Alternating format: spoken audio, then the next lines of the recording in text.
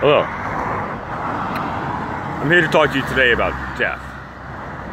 My death, possibly your death. Now, I don't know how long I'll live. Uh, if I keep doing this, I, I won't see 70, but not see 60. Okay, I'm 49.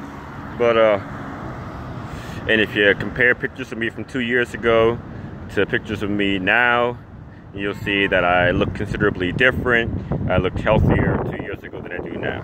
But uh, so just go through my videos and you'll see what I mean. But um, that said, I continue to smoke.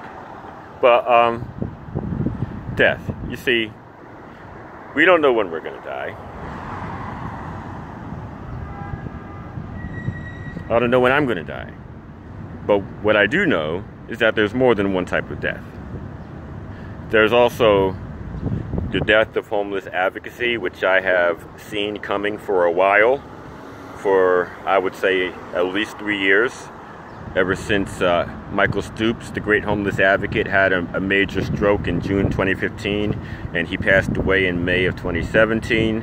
Uh, and I've thought about the death of homeless advocacy, and now, as DC's mayor, Muriel Bowser, runs for re-election, I see that if she wins a second term, then she will make all of the work of the paid advocates in the nonprofits, as well as the unpaid freelance advocates like myself, to no effect.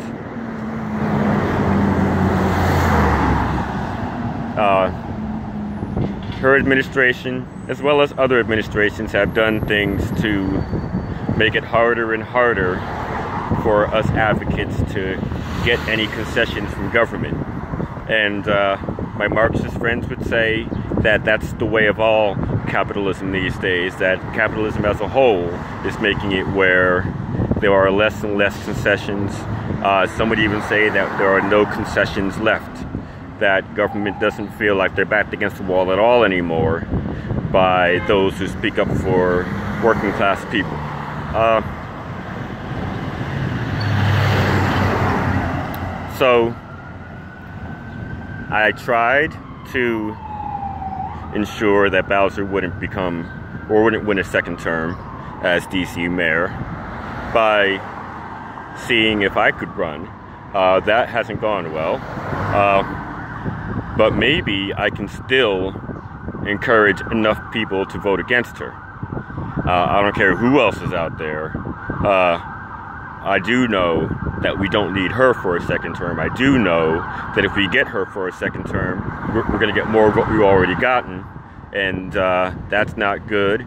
Uh, she's made various efforts to expedite gentrification and to shut down the advocates.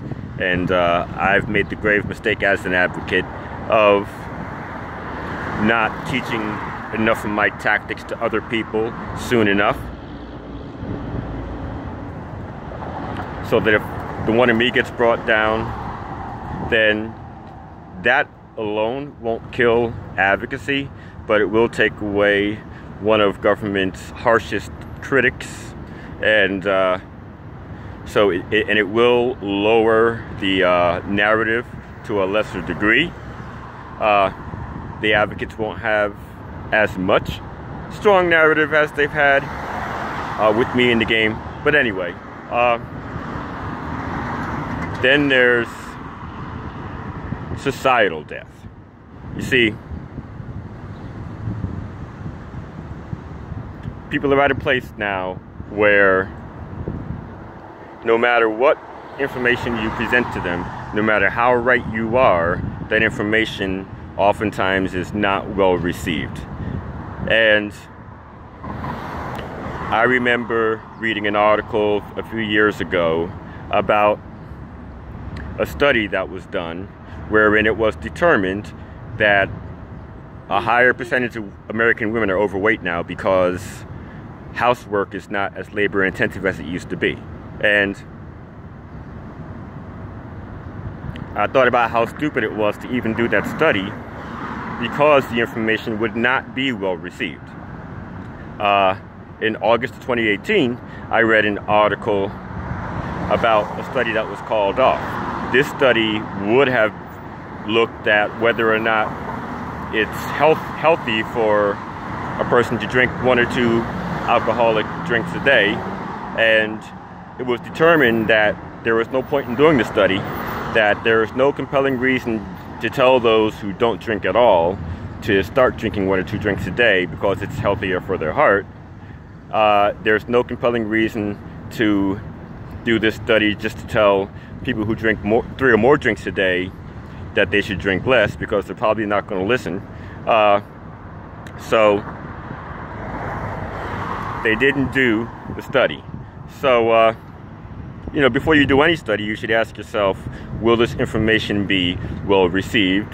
Uh, what, if anything, can come of this study and publishing this, this information? And if nothing good can come of it, then don't do it. But on the other hand, when the information that you receive can be used to prevent a problem like 9-11, then you should use that information so that you don't do like Bush did in 2004, putting together a 9-11 commission to study what went wrong during the lead up to the terrorist attacks of 2001. Uh, and I find myself warning people about the CCNV shelter and how that when the Capitol Crossing development, which is going up across the road, is done, possibly as early as 2023, then the shelter will likely be history. I tell people that by the end of 2022, the shelter will likely be closed. I also tell them that what's happening with the CCNV shelter uh, is emblematic of so many governmental problems. The shelter was created in the mid 80s.